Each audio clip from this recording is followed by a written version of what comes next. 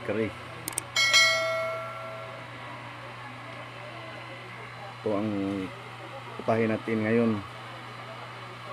Nangka with kari-kari. With baboy. Ito.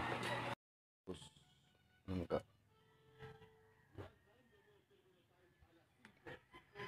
Banatan ko muna ito mga boss. Ah, ito.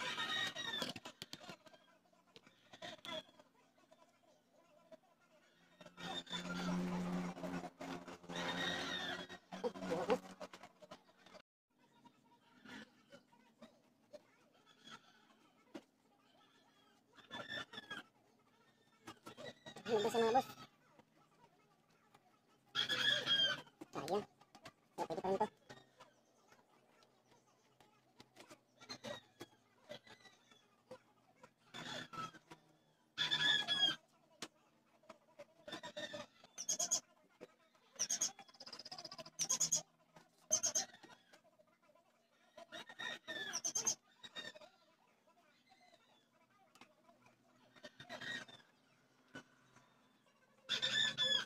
One hour later.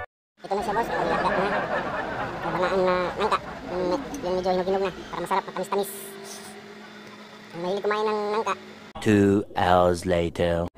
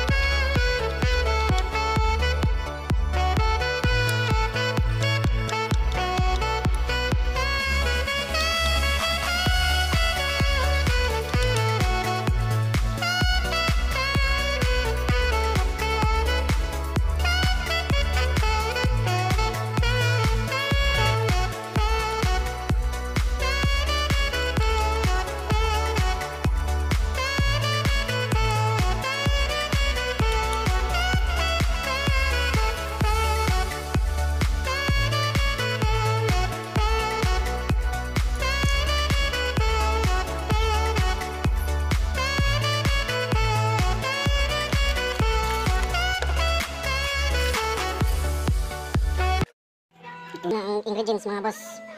Sa kare-kare nating nangka.